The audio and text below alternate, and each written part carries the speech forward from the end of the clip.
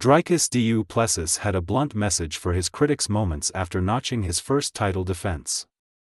The South African made the maiden defense of his middleweight crown early on Sunday morning in the main event of UFC 305 in Perth, Australia. Du Plessis continued his reign as the king of the 185ers with a fourth round submission win over former champ Israel Adesanya. DDP went into the Perth punch up as a huge underdog, with several experts publicly picking against him. And he had some choice words for them as he strode past Media Row on his way backstage.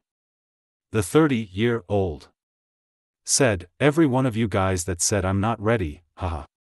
I made you look like dumps.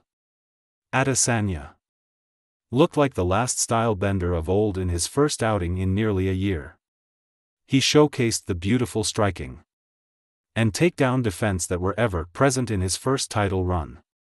But he was forced to submit to a rear naked choke after being taken down as he retreated from a barrage of right hands. Best free bet sign. Up offers for UK bookmakers in his initial assessment of the bout, the Nigerian born Kiwi said, I already knew he was going to be tough. So it wasn't a surprise.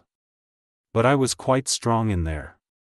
I felt strong and able to resist his takedowns. I just made a stupid mistake on the ground and he adjusted to the gable grip and then got me.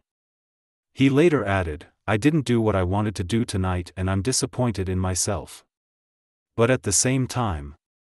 I'm proud because this is the best I've ever felt, this is the best I've ever looked. And I just had the better man on the night ill give him respect for that.